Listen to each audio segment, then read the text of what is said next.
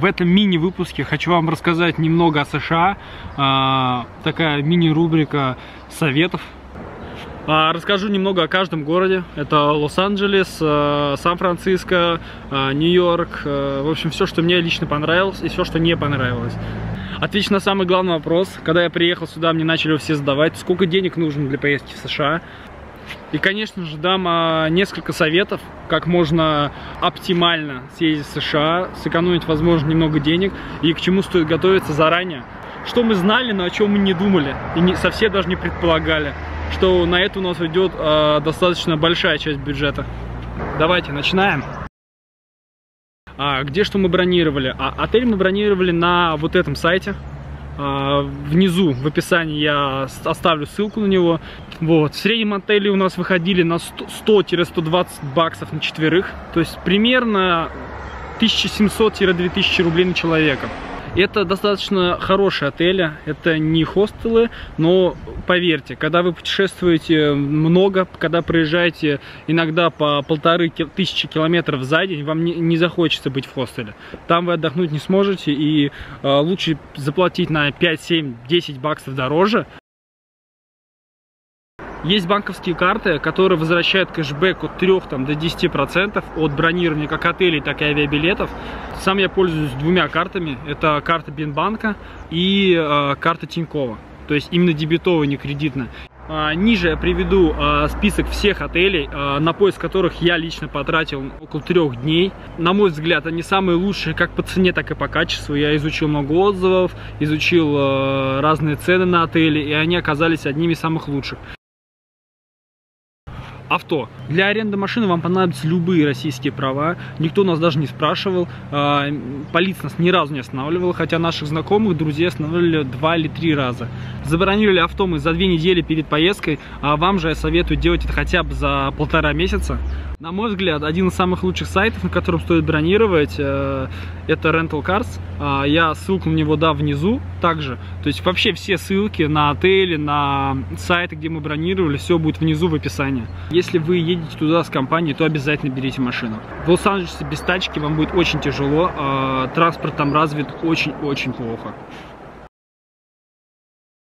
А, далее, собственно, авиаперелет. Это одно из самых главных. А, авиаперелет у нас обошелся где-то в 37-40 тысяч, точно я не помню. А, летели мы авиакомпания Лот, и она абсолютно просто... Это был самый крутейший самолет, на котором когда-либо я летал. Из Нью-Йорка мы летели уже через Лондон в Москву. Из Москвы, естественно, в Казань в законодательстве Великобритании есть такая оговорка, если вы летите э, транзитом именно из Канады либо США э, в Россию через Лондон, то вы можете остановиться в Лондоне до 24 часов. Далее, а, второй пункт, это города а, Лос-Анджелес. А, минусы. Самый главный минус это запах марихуаны, запах грязи, бомжей и сами бомжи. Они везде. Они по всему городу. На Аллее Славы это, собственно, практически одни бомжи там находятся.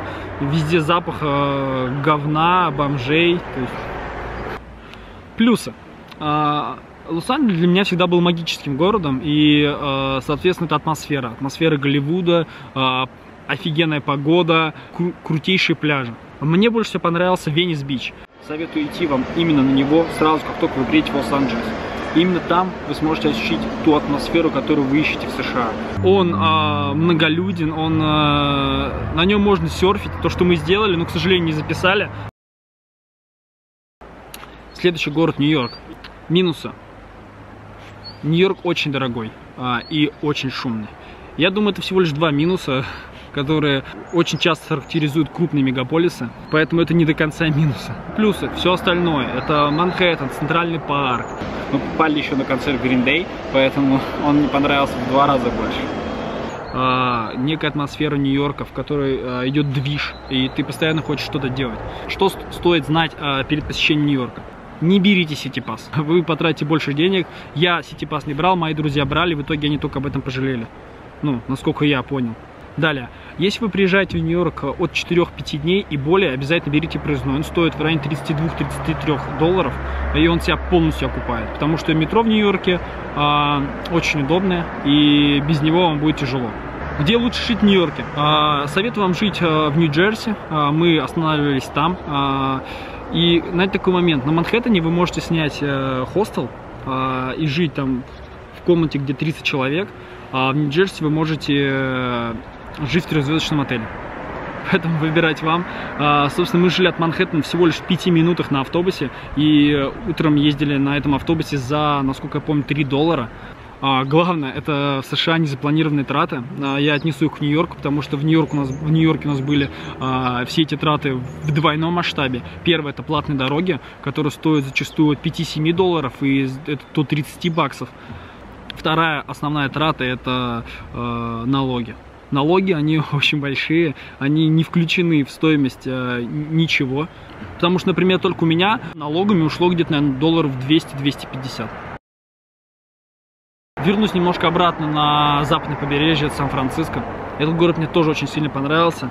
Минусов я особо не нашел, а понравились, понравилось все. Улицы, Голден Гейт, а, люди. Далее, а, четвертый город, о котором я хотел бы рассказать, это Вашингтон. В нем мы были один день. На этот город стоит выделять максимум два дня, потому что все достопримечательности находятся а, рядом. Это все и Капитолии, всякие стелы, и мемориалы Линкольна. Это все буквально смотрится за 2-3 часа. И еще маленький момент, э, это получается пятый город, Лас-Вегас.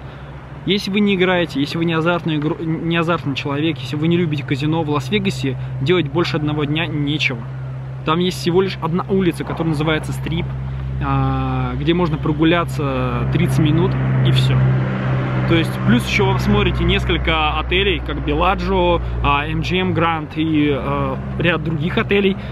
И, в принципе, на этом все. А теперь главный вопрос, бюджет. Чтобы поехать на 25 дней четвером, вам понадобится примерно от 150 до 180 тысяч на человека. Это минимум. Завтрак, обед стоит примерно 25-30 долларов. Бензин от 2,5 до 3,5 долларов.